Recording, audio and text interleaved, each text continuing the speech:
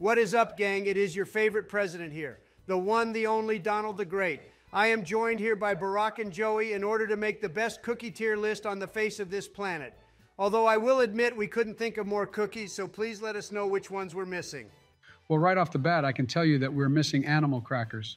Shut up, Sleepy Joe. That's a cracker, not a cookie. What's the difference? Like, genuinely, what is different?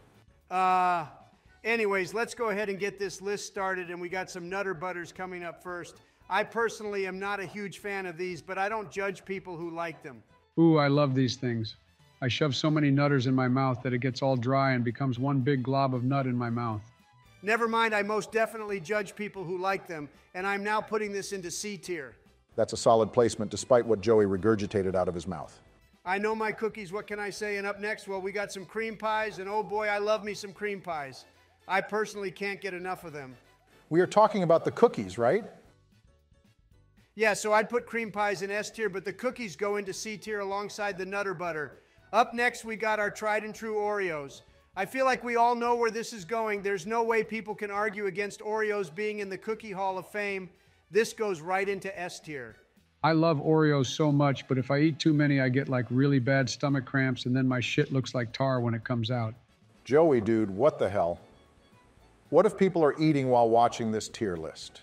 Joey doesn't care. Joey simply voices the truth. Joey, stop talking about yourself in third person, anyways. I then have Grandma's cookies going into A tier.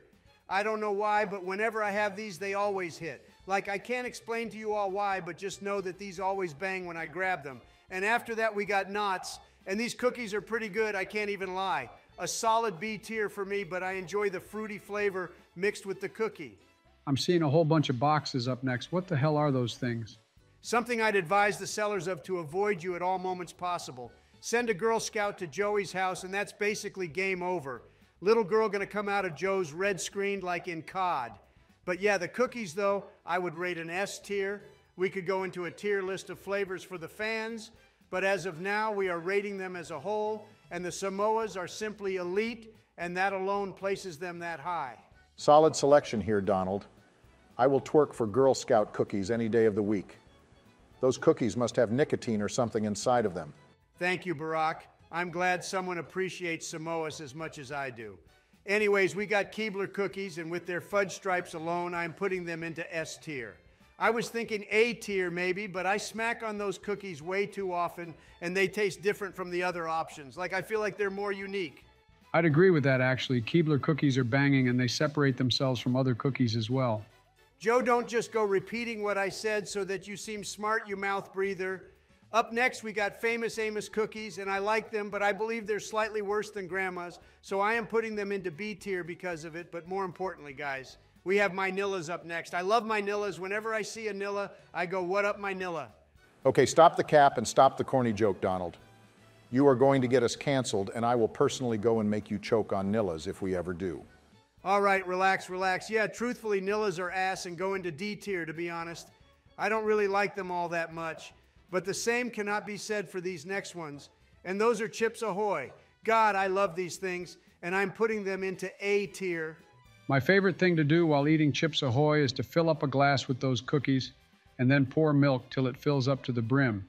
And then over time, the cookies get mushy and perfect.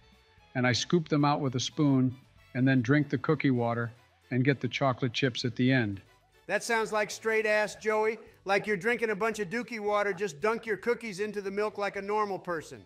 Anyways, lastly, we got Walmart sugar cookies, and they're okay. Like you know what you're getting with these, and they aren't Nillas, so I put them into C tier, to be honest. The sugar cookies are pretty good. I like them a bit more than C tier, if I'm being honest. Yeah, I bet your Nillas love them too. You motherfucker!